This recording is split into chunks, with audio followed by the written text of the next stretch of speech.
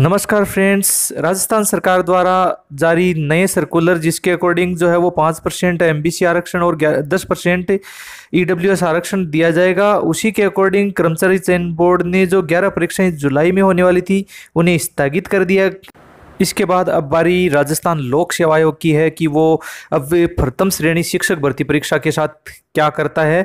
तो आगे बढ़ने से पहले हमारी छोटी सी रिक्वेस्ट है, चैनल पर पहली बार आए हैं तो चैनल को सब्सक्राइब करें, नोटिफिकेशन बेल दबाएँ, जिससे आपके पास लगातार समाचार उपलब्ध होते रहें। तो जयपुर से ये खबर है कि कर्मचारी चयन बोर्ड ने सभी परीक्षाएँ जो है स्थगित कर दी है, इसमें कई तरह के अनुदेशक भर्ती की परीक्षाएँ जो बीस जुलाई से प्रारंभ होकर अट्ठाईस जुलाई तक होने वाली थी।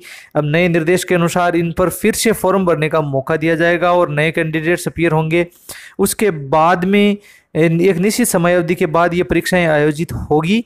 तो इसमें कई तरह की परीक्षाएँ सम्मिलित है। सबसे बड़ी बात है कि इसमें, एक एलडीसी जो भर्ती परीक्षा है, उसको लेकर अभी निर्णय नहीं किया गया, लेकिन पुस्तकालय अध्यक्ष और फार्मासिस्ट की भर्ती की परीक्षाएँ उनको भी स्थगित कर दिया गया है।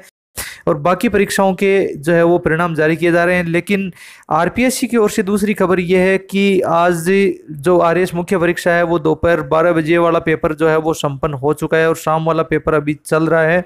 इस प्रकार कल और आज में जो चार पेपर हो रहे हैं वो यथावत चल रहे हैं। तो इसमें सिर्फ़ एम आरक्षण के लिए छत्तीस पद रिज़र्व रखते हुए ये सब निर्णय लिए। तो कर्मचारी चयन बोर्ड की जो परीक्षाएँ स्थगित की गई हैं, उनके ऊपर नए सिरे से आवेदन पत्र आमंत्रित किए जाएँगे और इसमें एम आरक्षण को सम्मिलित करते हुए और ईडब्ल्यूएस को भी सम्मिलित करते हुए नई विज्ञप्ति जारी कर इसमें आवेदन पत्र आमंत्रित होंगे।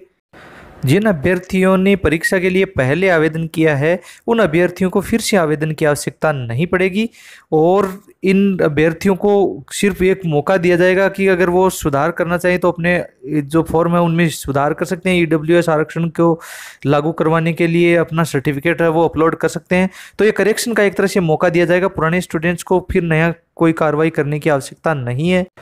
चयन बोर्ड की इस कार्रवाई के बाद अब सबकी नज़रें राजस्थान लोक सेवा आयोग की ओर है कि वो कब कुछ नोटिफिकेशन जारी कर दे और कब प्रथम श्रेणी व अन्य भर्ती परीक्षाओं के बारे में ताज़ा मार्गदर्शन दे। यही कयास लगाए जा रहे हैं कि आरपीएससी भी फ़र्स्ट ग्रेड परीक्षा को लेकर बड़ी घोषणा कर सकती है। ये परीक्षाएँ स्थगित हो सकती है और इनमें भी नए आवेदन का मौका मिल सकता है। इनमें भी एमबीसी और ई आरक्षण लागू किया जा सकता है।